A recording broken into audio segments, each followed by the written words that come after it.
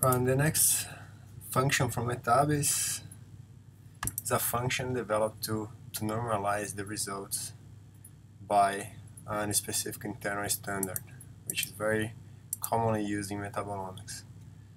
So in this case, let's, as an example, let's apply to, to this data set that, that we generated before. So we have the metabolites identified and their abundance in the different samples, the same way as before. And uh, let's suppose that we don't know, we don't want to put the name of the internal standard, so we just need to put the data set that you're analyzing, which could be a CSV file as well, doesn't need to be a data frame.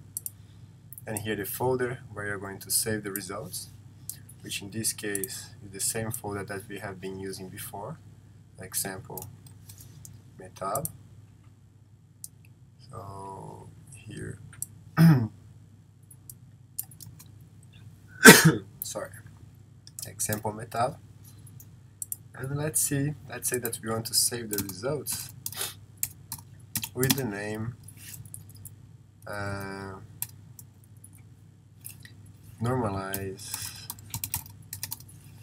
normalized by standard. That's the name of the file that you're going to generate. So if we apply that, because we didn't put an internal standard, we don't put the name of the internal standard, it's asking which internal standard we, we want to use, which are the same metabolites that we have in the input data.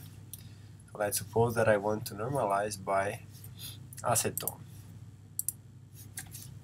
Normalize and save the result as we said before, normalized by standard, the name of the sample that we put here, and save the, the save the file in this folder here.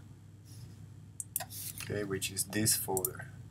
So here is the the result. As you can see, acetone now has the value one because the one that the compound that was used as standard, and the abundance of all the other metabolites are now in relation to acetone. So basically, the abundance of every metabolite was divided by the abundance of acetone in each specific sample. So which means that this 2-pentanone is 1.36 times uh, more abundant than acetone, and so on. That's how it works. So and the results are here as well in the variable as with any other function. So we have here the acetone as 1 for every sample. So the same idea.